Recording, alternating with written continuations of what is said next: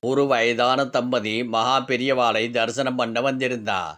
அவ பெரியவாளை எப்போ தரிசனம் பண்ணினாலும் அவளுக்கே தெரியாம கண்களில் கண்ணீர் ஆறா குளமாக ஓடும். அவ தரிசனத்துக்கு வந்த சமயத்திலே பெரியவா மௌனத்தில் இருந்தார். பெரியவாளோட மௌன விரதம் முடிகிற வரைக்கும் காத்து கொண்டிருந்து பேசிட்டு பேசிட்டுத்தான் போகணும்னு தீர்மானம் பண்ணிண்டு அங்கேயே நின்றுருந்தா. அவளோட கண்ணீரை பார்த்ததும் பெரியவாளோட மனசு உருகி போச்சு. அந்த தம்பதியை கூப்பிட்டு பக்கத்திலே உட்கார சொன்னார். அவளுக்காக தன்னோட மௌன விரதத்தை கைவிட்டார். என்ன பிரச்சனைன்னு ரொம்ப ஆதரவாக கேட்டார் பெரியவா. எங்களுக்கு ஒரே பையன் பெரியவா. மூணு வருஷமாக அமெரிக்காலே இருக்கான். அவனுக்கு எங்கக்கிட்டே கொள்ள ஆசை பெரியவா? அப்புறம் என்ன? அவனுக்கு இன்னும் கல்யாணம் ஆகலை. ஒரு வெள்ளைக்கார பெண்மணியோடு பழகிட்டு இருக்கான் பெரியவா. அவளை அழிச்சென்று வந்திருக்கான்.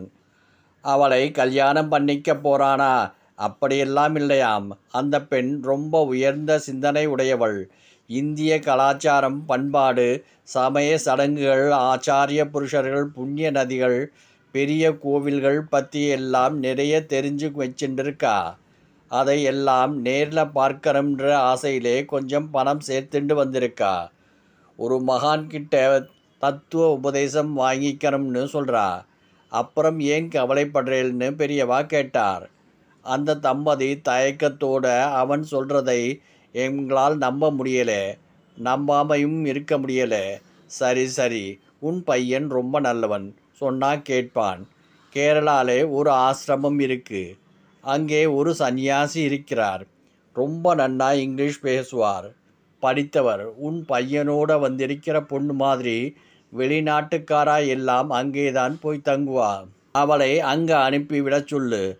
அவ அங்கே போய் இங்கிலீஷ் பிரம்மசூத்திரம் இங்கிலீஷ் அத்வைதம் எல்லாம் படிச்சுண்டும் அதே மாதிரி அந்த பெண் அந்த ஆசிரமத்துக்கு போனால் நல்ல ஞானம் பெற்று வெளிநாட்டுக்கு போய் சேர்ந்துட்டா. அந்த தம்பதியோட தர்ம சங்கடமான நிலை போய் நிம்மதி ஆயிட்டா. இந்த மாதிரி வினோதமான ஐடியா எல்லாம் பெரியவாளுக்கு கைவந்த கலை. हर हर शङ्कर जय जय शङ्कर हर हर शङ्कर जय जय शङ्कर